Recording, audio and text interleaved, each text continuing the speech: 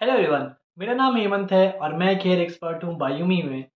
आज मैं आप लोगों को बताने वाला हूँ कि क्राउन सेक्शन में कैसे आप बाउंस क्रिएट कर सकते हैं राउंड ब्रश से।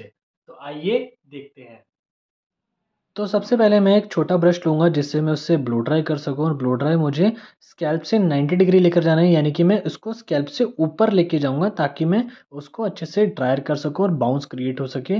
क्रिएट होने के बाद मैं क्या करूँगा, उसको इंटर्न में घुमाऊँगा थोड़ा सा ब्रश को अंदर की साइड घुमाऊँगा ताकि उसका फॉल अंदर को आए और जैसे ही ये सब हो जाए, फिर मैं दूसरा ब्रश यूज़ करूँगा।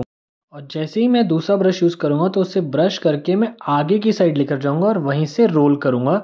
रोल करने के बाद मैं हीट जो दूँगा, वो ऊपर की साइड दूँगा, ना कि नीचे रूट्स के पास और उसको एक से दो सेकंड के लिए छोड़ूँगा और जैसे ही मेरा ब्रश हो जाएगा और मैं अपने ब्रश को खोलूँगा तो मेरे को पीछे बाउंस क्रिएट मिल जाएगा।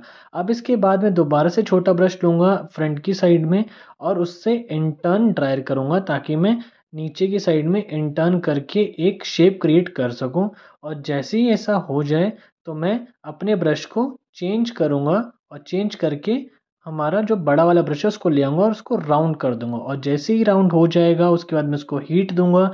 हीट देने के बाद मैं एक से दो सेकंड वेट करूँगा और उसके बाद जैसे ही मैं उसको छोड़ूँगा, जैसे ही मैं फ्लिक को छोड़ूँगा तो ये मेरा बाउंस क्रिएट हो जाएगा फ्रंट साइड में।